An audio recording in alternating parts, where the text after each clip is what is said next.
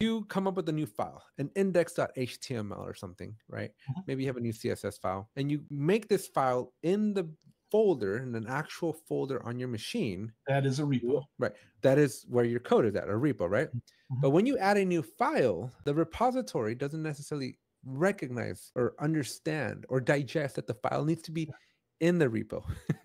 it's in the same folder, Yeah. but it's not registered yet. And so this next command is going to be git add and then the name of your file. So basically, that just registers it with Git.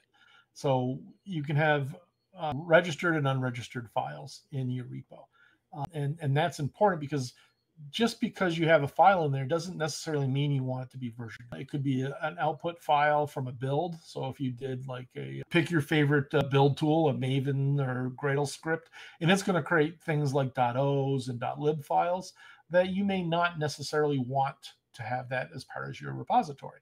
Uh, so unless you do a git add on that, it's not going to do it.